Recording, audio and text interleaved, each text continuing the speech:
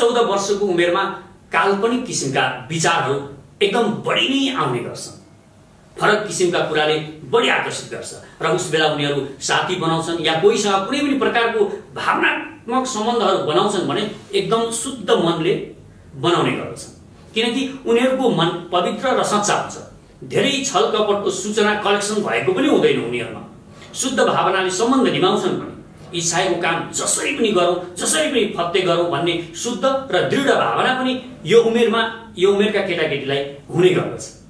अब यही उमेरमा कसैको मनमा म बुद्ध बन्छु म बुद्ध बन्छु भन्ने विचार आयो भने वास्तवमा यो सत्य र शुद्ध विचार नै हुन्छ। यो उमेरमा रामबहादुर बमजनको मनमा म अब बुद्ध बन्छु भन्ने विचार आएको हो भने त्यो पवित्र विचार थियो। र उनले यस दिशामा जान ध्यान पनि सुरु गरे। वास्तवमा उनी ध्यान गर्दा बुद्ध बन्छु भनेरै बसेका थिए पवित्र मनले नै बसेका थिए। उनमा यो शुद्ध भावना नै थियो। अब भइदियो के भने उमेर बढ्यो। उनी बसे ध्यानमा तर उमेर बढ्यो। सत्र र अठार वर्षको भए उनी। अब यहीँबाट सबै समस्याहरू सुरु भयो। अठारदेखि तेत्तिसको उमेर भनेको हर्मोन एकदमै सक्रिय हुने समय हो र यो सबैमा हुन्छ। प्रेम र सेक्सका विचारहरूको बाढी चल्छ शरीरमा। एउटा बुद्ध बन्न हिँडेको केटालाई यी हर्मोनले जुरुक जुरुक बनाउँछन् जुरुक्क जुरुक्क उचाल्छ र मनमा मस्तिष्कमा अप्सराहरू नाच्न थाल्छन्।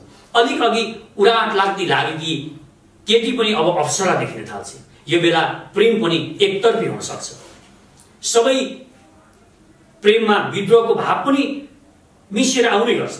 जसरी पनि पाउनै पर्छ मैले पाएकै हुनुपर्छ भन्ने भावको तीव्र विकास भएको हुन्छ र धेरैलाई डिप्रेसनको स्थिति पनि हुन्छ।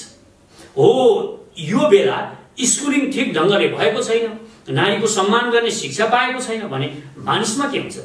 मानिसले नारीमा सेक्सुअल नारीलाई सेक्सुअल हेरेसमेन्ट गर्न सक्छ उपद्रो र नारीको अपमान हुने अनेक खालका कामहरू उसले गर्छ। आवेगमा हत्या र बलात्कार जस्ता जघन्य अपराधहरू पनि गर्न सक्छ। जति पनि नकारात्मक कार्यहरू छन् यही उमेरबाट सुरु हुन्छ। खैनी चुरोट लागु पदार्थको दुर्व्यसन आदि सबै जति पनि कामहरू गर्छन् युवाहरूले यो उमेरमै गर्छन्। घरमा मोटरसाइकल चाहियो मोबाइल चाहियो भने यस्तै अनेक खालका सामानहरू चाहियो भनेर उनीहरू जबरजस्ती घरमा प्यारेन्ट्सलाई जबरजस्ती गर्न थाल्छन्। यो उमेरका केटाकेटीमा एकदमै हड्डी भाव पनि आउन थाल्छ। यो उमेरको एकदम यो उमेरमा एकदम देखाउने इच्छा हुन्छ। छुट्टै देखिन मन पनि लाग्छ। त्यसैले उनीहरू ड्रेसअप हेयरस्टाइलदेखि हरेक कुरा फरक देखिन फरक देखाउन चाहन्छन्। फरक लिङ्गीलाई आकर्षण गर्ने मात्र होइन वास्तवमै फरक र क्रिएटिभ सोच पनि हो यो। उमेर डिस्ट्रक्टिभ र कन्स्ट्रक्टिभ दुवै हुन्छ। यदि यो बेलाको ऊर्जालाई रूपान्तरण गर्न सक्ने हो भने यो जुन ऊर्जा मानिसमा हुन्छ यसलाई रूपान्तरण गर्न सक्ने हो भने मानिस बुद्ध अरबपति महान कलाकार लेखक जे पनि बन्न सक्छ। तर यो शक्ति नकारात्मक दिशातिर गयो भने नकारात्मक डाइरेक्सनमा गयो भने बुद्ध होइन मान्छे हिटलर बन्छ इदी अमिन बन्छ चाल सोभराज बन्न सक्छ।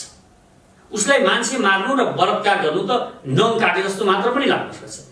कुनै पनि कुरा बारम्बार विचार गरेपछि यो मनलाई के हुन्छ भने भ्रमात्मक विश्वास हुन थाल्छ। अर्थात् मनलाई विश्वास हुन्छ। म जे सोचिरहेको छु म वास्तवमा त्यही होला भन्ने एक किसिमको विश्वास मनलाई लाग्छ। एकपटक के भएछ भने एकपटक एउटा मानिस अब्राहम लिङ्कनको अभिनय गर्दो रहेछ नाटकमा।